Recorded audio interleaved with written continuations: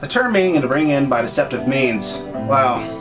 That sounds like a term that could adequately describe most sequels that come out these days now, doesn't it? Yes, I know, I constantly drone on about how awful sequels are, just like a bunch of tripe sandwiches, while others constantly tease us like the glimpse of a bikini model through the window blinds, lulling us into the false security that uh, all sequels are absolute gold mines.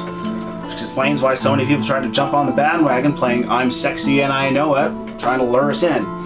And by the time we get to the theater, we find out that the only reason these people look sexy is because of the wonders of Photoshop and makeup artists. Find out that they have scurvy, their teeth falling out, and well, I think you get my point. Which brings us to the meat and potatoes of today's review.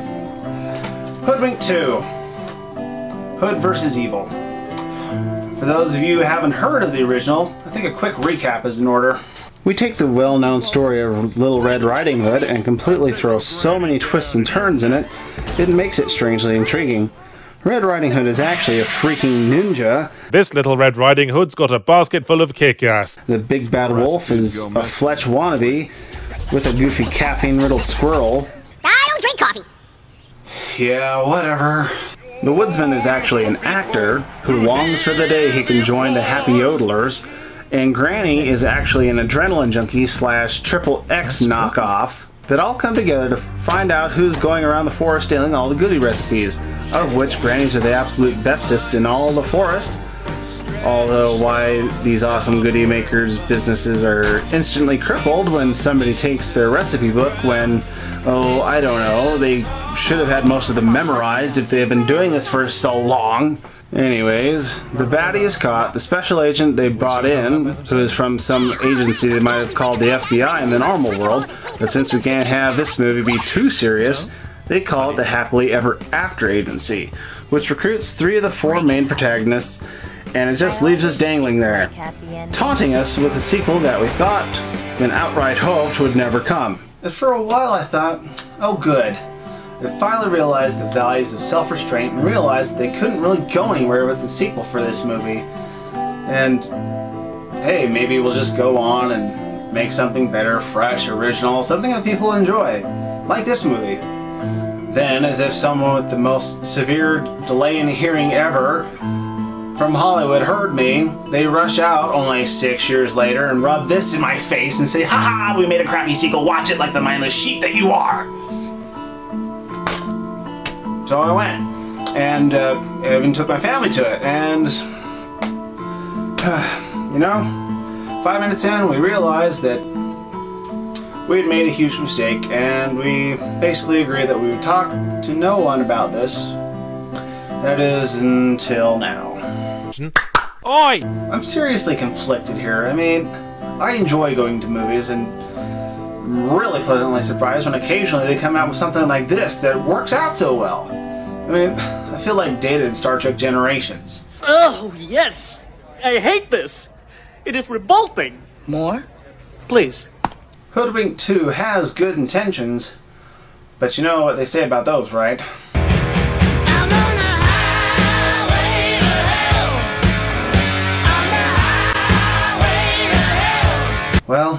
Putting it off long enough. Let's get into it, okay? The movie begins by listing off all the main characters as if desperately attempting to say, hey, look, we have all these huge names, so our movie can't possibly suck, right? Which should have been my first warning that this movie was absolutely going to suck. I had two initial thoughts as the credits rolled by. First, where are the witty subtitles that turn into advertisements about Norway and moves from Monty Python? And second, where the hell is Anne Hathaway? I mean, okay, the first Hoodwinked movie came out during Anne Hathaway's Sweet Girl phase. Princess Diaries, The Cat Returns, and Ella Enchanted. Now, before she turned out to be another Disney whore. Oh, come on, don't act like you don't know what I'm talking about. Britney Spears, Selena Gomez, Lindsay Lohan, the list goes on and on. Anne was no exception to this with The Devil Wears Prada, Becoming Jane, and Valentine's Day. But she did go on to be Catwoman in The Dark Knight Rises, so I guess all is forgiven. Sorry, got a bit sidetracked there. Where was I? Oh yeah, Hoodwinked Too they replaced her with Hayden Panettiere, so I can't complain too much. It doesn't get much better. I mean, the laundry list of things that are wrong with this movie goes on and on. So I think I'll just try to tackle some of the bigger ones one by one. Otherwise, this review will turn out to be an epic two hour episode. And I don't have the patience for that. Number one the lip syncing and voice acting. It rivals Final Fantasy X 2. The nerve!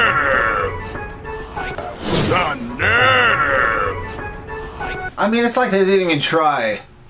Oh, wait. Number two, Nicky Flippers constantly complaining about mammals, which he screws up several times throughout the movie, such as when this helicopter crashes and then he parachutes out. Not sure if you got a good glimpse of your pilot, but it's a freaking bird! Birds are members of the Aves class, you groaning reptile! You mean amphibian, right? Whatever.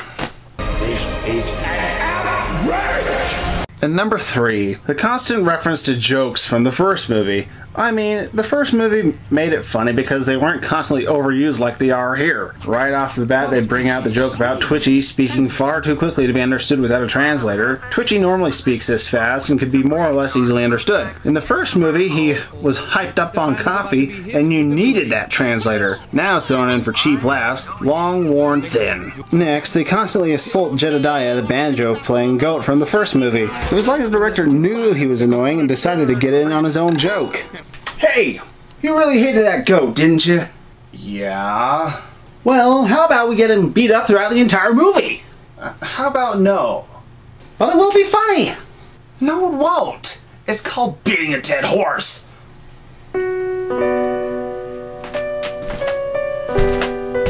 Like I said, the list goes on and on. Alright, the movie. So, Wolf and Granny surround the house with the Wicked Witch and Hansel and Gretel holed up inside with the plan of, I'm not quite sure, but one thing's for certain, we can't have somebody distract the witch while he somebody sneaks in and saves them. Oh no, that's a horrible idea. Of course, that's exactly what Twitchy and the Wolf do, which somehow goes wrong. Then the whole of the HEA shoots 20 rocket propelled tear gas grenades into the house. Oh, that's a great idea. No, it freaking isn't. Somehow, this has absolutely zero effect on the witch or the kids because screw logic. And the witch flies away on her rocket powered broomstick because magic in fairy tales is nonsense. It's all about the technology and science. The group follows after, trying to catch up on a motorcycle. Granny leaps off the motorcycle and ends up getting captured by the Wicked Witch because she just happened to have a pair of handcuffs with her. The wolf tries to pull a Granny, but ends up crashing right into the windmill, then utters one of the strangest lines I've ever heard in a kids movie. Okay, I can taste my own butt. I, I can taste my, my own what? Okay, I can taste my own butt. He did. He did say what I thought he said. I did, I did, Tall Putty Cat. What does that even mean? I, I can taste my own. I mean, okay, I understand. They can't sit, have people say, "Oh my," but what, uh, what kind of line is that? that? That's not possible. Or is it? Who the hell are you? Why, I'm Dr. Schadenfreude, and I brought science with me. Brought what? Science? Uh, I I don't know if I want to be part of this. Why, it's very simple. We're going to test one of my longest twisted theories ever. Now, all I need is a volunteer. And a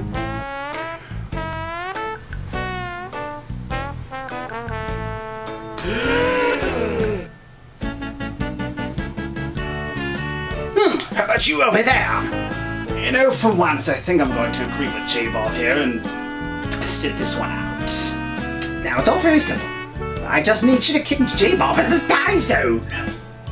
No, no, no, no. Hold on for just a minute here. Oh. I can handle that.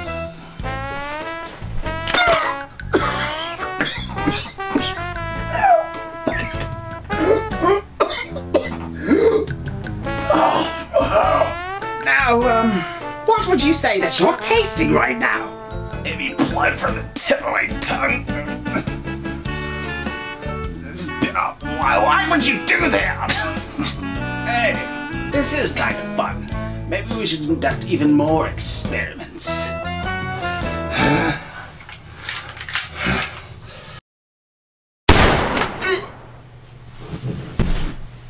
Left no more of that.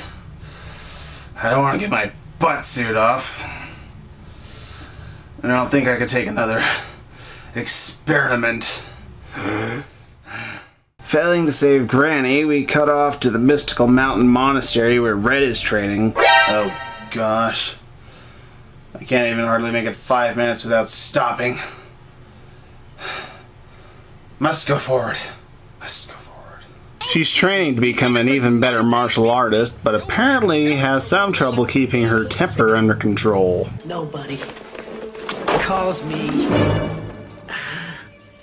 chicken. Red botches the delivery because that's still important for some reason, like some cheesy Mr. Miyagi lesson that Red needs to follow, which will somehow teach her the mysteries of Kung Fu, or whatever it is she does. Then a completely stereotypical granny comes out telling her she's failed. While bemoaning her inability to control her emotions, Nicky calls Red and informs her of the news that Granny is now missing. Wondering why anyone would want to kidnap Granny, the leader of the Sisters of the Hood tells her the only reason anyone would want to kidnap Granny, other than, well, you know, stealing her book of super awesome recipes, we get introduced to the super magical MacGuffin of plot devices, the Super Truffle! A truffle so powerful it makes anyone completely unstoppable. Of course, since it's so secret, sacred, and dangerous, they keep it in a super secure, awesome mountain vault that would make Richie Rich proud.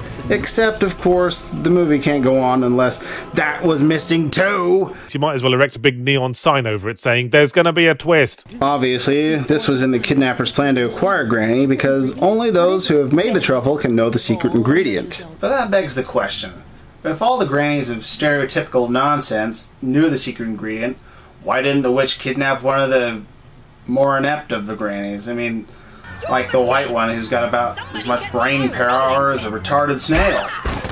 Guess that would be making too much sense now, wouldn't it? Red leaves before completing her training to go to help everyone out. You must complete the training. I can't keep the vision out of my head. They're my friends. I gotta help them. Even though she's not ready. Yeah, I know.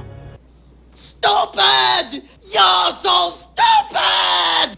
Meeting back up with Wolf, who she still has a distaste for, even though I thought they buried the hatchet at the end of the first movie, but whatever. They go to shimmy down Jimmy Ten Strings for information about all these ingredients that are being ordered by the villain. Why they couldn't, oh, track down the building, put surveillance on delivery vans, or, uh, I don't know, raid the building with your massive HEA force is beyond me. Well, actually not, because we've got to make the point that we're in a fairy tale land with tons of fairy tale characters, like the giant from Jack and the Beanstalk. So, of course, they go with this option and fumble another disguise attempt, and somehow learn that the bunny from the first movie is placing orders for these ingredients, even though he's locked up in an asylum and should be locked up from all the outside world completely, but again, screw logic. So, they figure out what they should have known already, since the HEA agents were constantly surrounding the building but doing jack all, that Granny is in Dark Tower's castle, which is the only creepy, ominous, obviously a bad guy hideout in the history of all movies. I'm surprised they didn't put on a fake thunderclap and lightning strike while they revealed this dang thing. Granny somehow gets free and tries to save the kids, but it turns out that the kids were actually the real masterminds behind this. Not even halfway through the movie.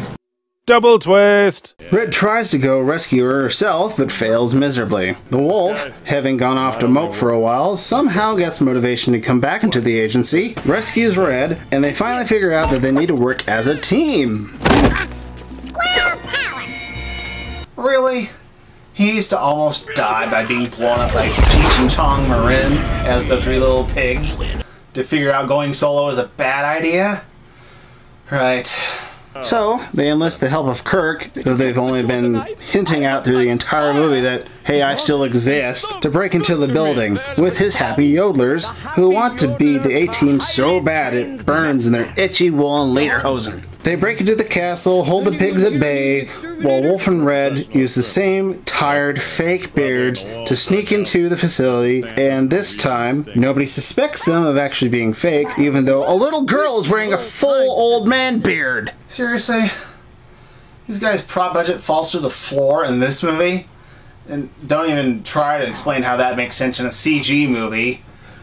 I mean, using the same costume over and over, expecting a different result, and Wonder how that even works.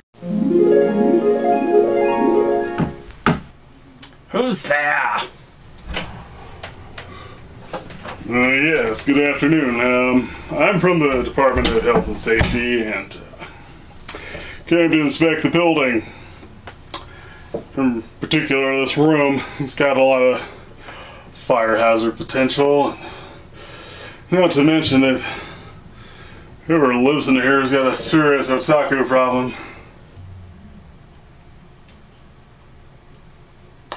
Oh, really? I do have a problem, don't I?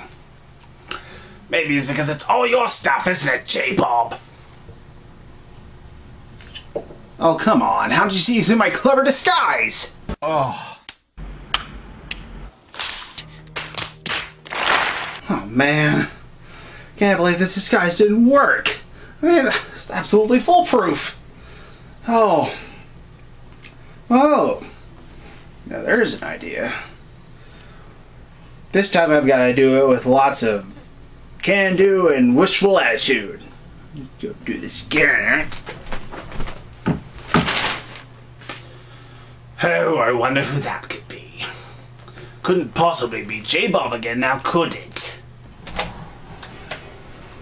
Uh, yeah, I'm here from the the Daily Planet, and uh, couldn't help but notice that your newspaper subscription's about to expire. Thought you might like to to get that renewed. Yeah. Well, yes. I don't want to miss out on the world's events now, do I? Where do I sign?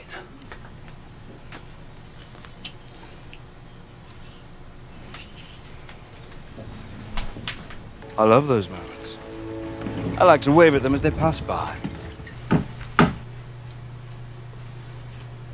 Who is it?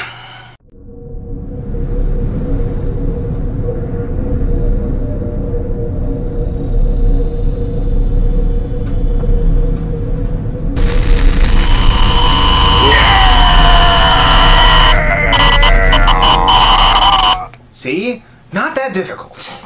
Oh yeah, the movie. So Red gets into the kitchen, suddenly realizes what the secret ingredient is, even though she's had no additional training and has not improved it any way. Hansel and Gretel come in, summon the Lord of Darkness to celebrate their success in creating the super truffle, and Red fears all is lost. Until Granny gives her this nugget of advice. A person can never really fail unless they give up.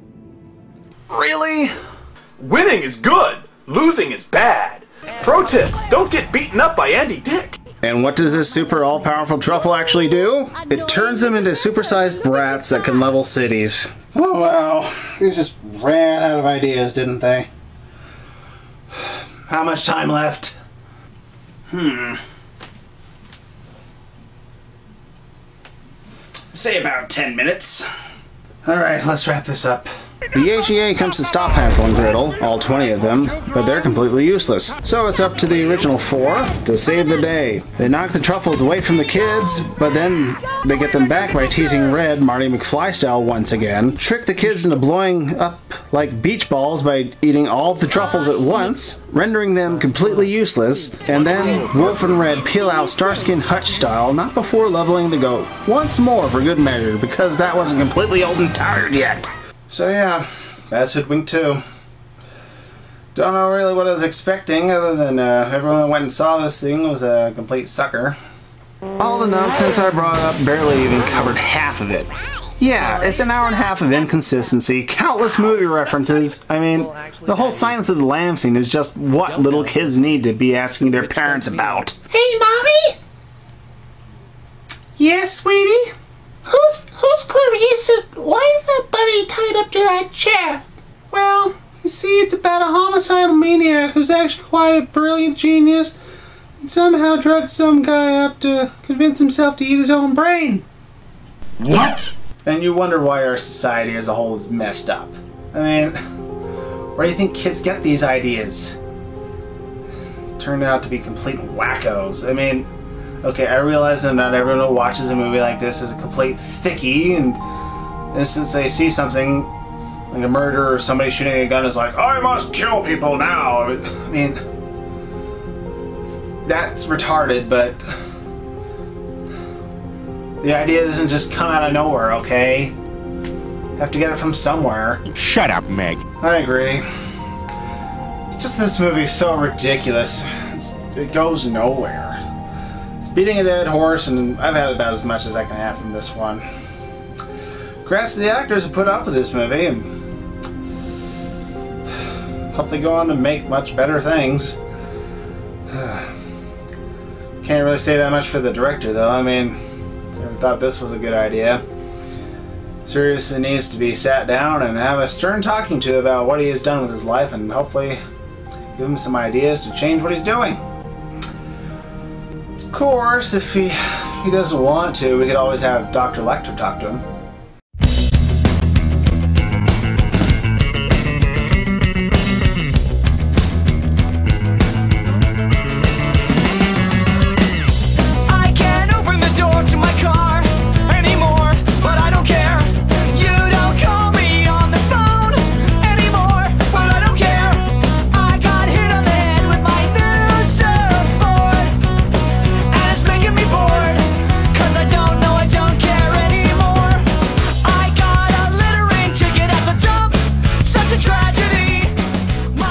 Imagine something with me. Imagine a world where sequels are banned. Would this not be a beautiful place? Sure, we'd miss out on genuinely good sequels like Thief 2 or Half Life 2, but I think that's a small price to pay. Every story would have to be fresh, so the writers would have to work extra hard to make the characters relatable. With no sequels, there are no franchises, there'd be less fandom, so all the nerds will go off and become doctors and scientists and rid the world of all known diseases, and best of all, endings would have to have some closure. Under this regime, ending the game with ambiguous to be continued it when you have no idea if you'll even make a sequel will be punishable with prison time.